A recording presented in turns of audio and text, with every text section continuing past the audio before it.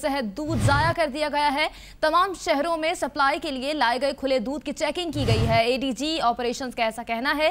لاہور کے تمام entry points پر دو سو اڑتیس گاڑیوں کی چیکنگ اکانوے گاڑیوں میں مضر صحت دودھ پایا گیا۔ لاہور میں دو ہزار تین سو بیس لیٹر مضر صحت دودھ ضائع کر دیا گیا ہے، جبکہ فیصل آباد میں چار سو دس لیٹر گجرہ میں چار سو ستر لیٹر مضر صحت دودھ ضائع کیا گیا ہے۔ ملتان میں سات سو پینسٹھ اور راول پنڈی میں پانچ سو تیس لیٹر مضر صحت دودھ ضائع کر دیا گیا ہے۔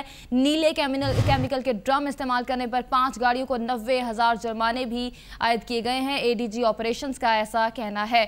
مختلف شہروں میں مضر صحت دودھ ضائع کیا گیا ہے اور لاہور سمیت پنجاب کے مختلف شہروں میں ناکے بھی لگائے گئے ہیں۔ چار ہزار پانچ سو لیٹر مضر صحت دودھ ضائع کر دیا گیا ہے۔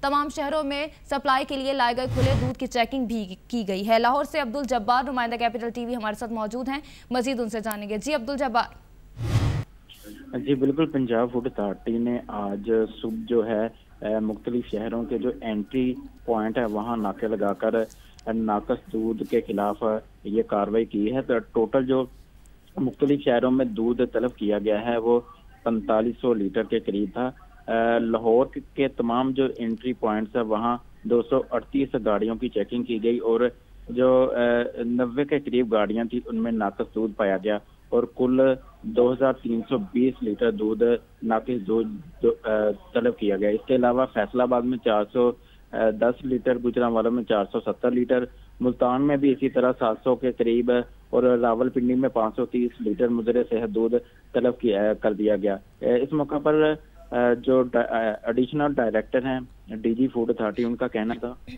کہ نیلے جو کیمیکل ڈرم استعمال کرنے پر پانچ گاڑیوں کو نوے ہزار جرمانہ کیا گیا ہے جی عبدالجبار نمائندہ کیپیٹل ٹی وی لاہور سے ہمیں اپڈیٹ کر رہے تھے بہت شکریہ آپ کا